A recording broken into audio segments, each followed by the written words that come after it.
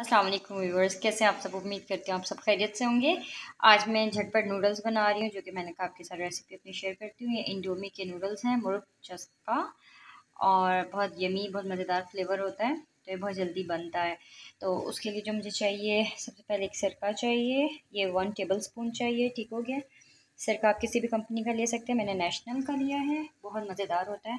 और आपको चिकन जायका चाहिए हाफ़ टी स्पून और ये इनका मसाला और हाफ़ टी स्पून जो है मेरी कुटी हुई मिर्चें हैं, ठीक है?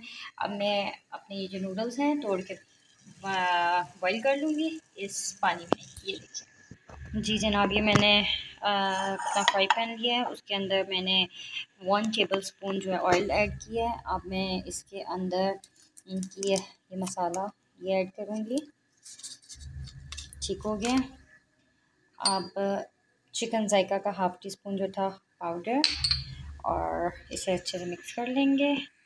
जी, आप देख सकते हैं, मसाला हमारा ऑलमोस्ट डन हो गया अब मैं इसमें one tablespoon vinegar add करूँगी। ये देखें। ठीक हो गया।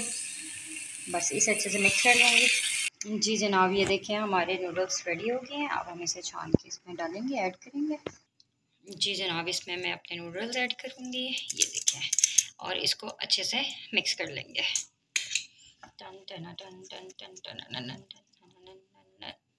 जी जनाब ये देख सकते हैं आप मेरा मेरे नूडल्स रेडी हो गए हैं अब मैं इसके अंदर जो है चिली फ्लेक्स ऐड करूँगी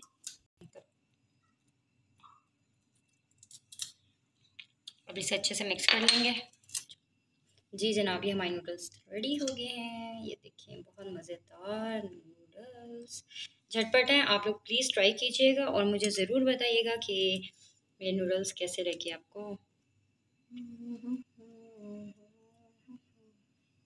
ज़रूर ट्राई कीजिएगा और बताइएगा, ये वीडियो बिल्कुल भी स्पॉन्सर्ड नहीं है। ये मैं खुद यूज़ करती हूँ तो मैं इस वजह से आप लोगों से शेयर करती हूँ। ठीक हो गया? Thank you so much for watching अपना बहुत सारा ख्याल रखिएगा। हाफिज़।